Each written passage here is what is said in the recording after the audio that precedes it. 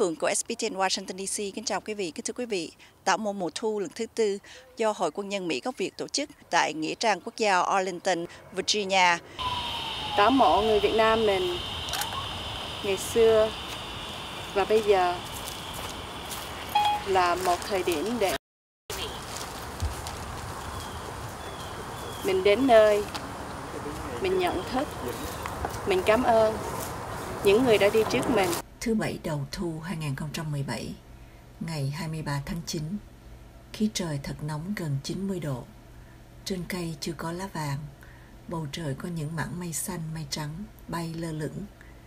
Năm nay lần thứ tư hội quân nhân Mỹ gốc Việt cùng với những hội đoàn người Việt tại vùng Hoa Thịnh Đốn, Maryland và Virginia cũng có những cô chú đến từ New York, Delaware, cùng với những người lính cựu chiến binh của quân lực Việt Nam Cộng Hòa và những chiến sĩ quân lực của quân đội Hoa Kỳ trong những bộ quân phục, trong những tà áo dài tím, xanh, vàng, đen lẫn lộn để cùng nhau tảo mộ mùa thu tại Nghĩa trang quốc gia Arlington, nơi yên nghỉ của hơn 300.000 tử sĩ đã hy sinh cho nền độc lập của Hoa Kỳ. Trong đó có những người lính Việt Nam Cộng Hòa và những người lính Mỹ gốc Việt đã hy sinh nơi chiến trường Việt Nam, chiến trường Trung Đông và các nơi khác tại Hoa Kỳ. Tôi hôm nay được hân hạnh là được ờ, Hội lính Mỹ gốc Việt mời đến đây để thăm nghĩa trang của quân đội Mỹ. Qua cái cách nhìn và cách ờ, bài xếp ờ, chúng tôi nhìn thấy rất là ngăn nắp và rất là đẹp. À, nhìn đến cái nghĩa trang này mà chúng ta nhớ lại và nhìn lại cái nghĩa trang quân đội của chúng ta bên Việt Nam hiện tại thì thấy nó rất rất là thô sơ và rất là điêu tàn. À, tôi cũng mong mỏi là cả, tất cả những người lính Việt Nam Cộng Hòa cũng như thế hệ sau này chúng ta nên nhìn về cái nghĩa trang của mình nhìn cái nghĩa trang hôm nay để nhìn về cái nghĩa trang của mình để chúng ta có những cái mà uh, bàn tay để xây dựng cái nghĩa trang cho chúng ta không được bằng như thế này nhưng mà cũng bằng nửa cái này là chúng ta thấy cũng đã mãn nguyện lắm rồi. Khi mình về vô những nghĩa địa như vậy thì mình lúc nào cũng ngầm ngùi là tại vì đây là những anh chị em những cô chú bác đã đi trước mình. Họ có những cái bàn tay xây dựng cho đất nước hùng hào hơn.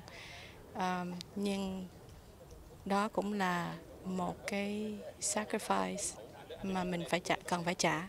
Việc viếng thăm là đúng ra là đối với tôi là trách nhiệm của những người mà đã ờ, bạn đồng hành cũng như là với mình người Mỹ cũng như những người Việt Nam à, đã chiến đấu vì tự do à, do đó cái nhiệm vụ chúng tôi đến đây là để mà cũng như là tưởng nhớ lại những người đã khuất à, cũng như là cảm ơn những người đó đã chiến đấu cho cái sự tự do của đất nước mà mình có ngày hôm nay. Có một ngôi mộ một số người lính ở trong quân đội Việt Nam Cộng Hòa đã được chôn tại đây vì lý do là khi đang tham gia vào mặt trận, đang bay với những sĩ quan của Mỹ và khi chiếc trực thăng bị rơi thì trên đó có một số phi hành đoàn của người Việt Nam và các sĩ quan Mỹ đã hy sinh tại đó. Sau khi tìm được chỗ máy bay rơi, tất cả các xác thì lẫn lộn, không biết Mỹ, Việt như thế nào vì thế tất cả được chung chung vào một cái mộ ở đây.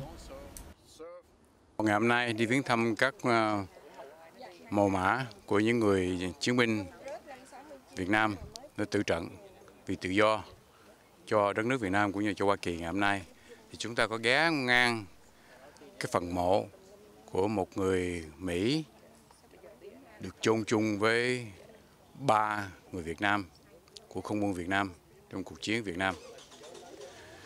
Cái bia mộ này là của thiếu tá Larry Thorne, một sĩ quan lực lượng đặc biệt Hoa Kỳ. Ông được sinh ra ở tại Phần Lan, lớn lên Phần Lan, đi lính tại Phần Lan.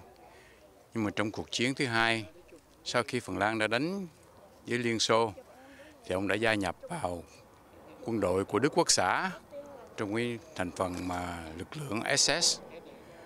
Ông đã chống lại Liên Xô và sau khi chiến tranh thứ hai chấm dứt, ông đã sang Hoa Kỳ, rồi gia nhập vào quân đội Hoa Kỳ.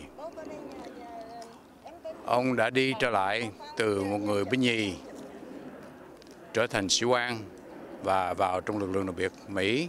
Ông đã được đưa sang Việt Nam để phục vụ với Liên đoàn 5 lực lượng đặc biệt và từ Liên đoàn 5 đưa về làm việc với McVie SOC.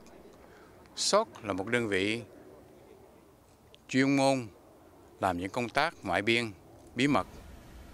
Và năm nay, mọi người được viếng thăm đài tưởng niệm nạn nhân 911, những nạn nhân đã ra đi trong cuộc khủng bố 91 2001 Chiếc máy bay đã đâm vào lầu năm của ngũ giác đài, cướp đi 189 sinh mạng.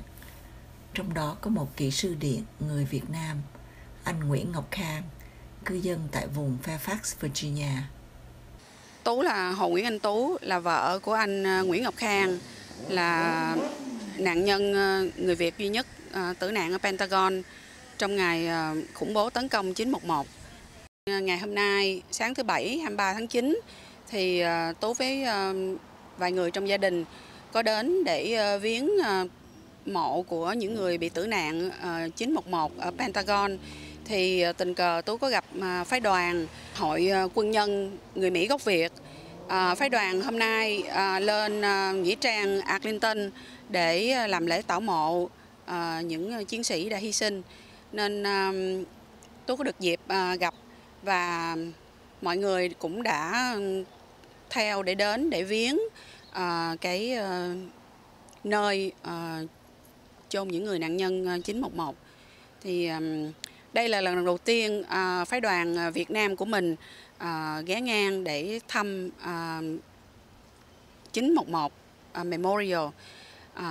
Và tôi rất là vui được gặp đồng bào ở đó và mọi người cũng đã chia sẻ cái, và cảm thông với lại nỗi mất mát của gia đình tôi nói riêng. Và của tất cả nạn nhân 911 nói chung. I'm Captain Gary Ryan. I was in Vietnam for two tours from 1970, 69 to 70. And I've been honored to be invited to this ceremony for four years now. And what it means to me is something very personal. I often say that one thing that we got or did when we went to Vietnam is we lost three things. We lost our youth, we lost our innocence, and we probably lost one of our best friends from high school. But with all of that, the love and warmth and patriotism of the Vietnamese people is are heartfelt. Bích Phượng tường trình từ Nghĩa trang Quốc gia Arlington, Virginia.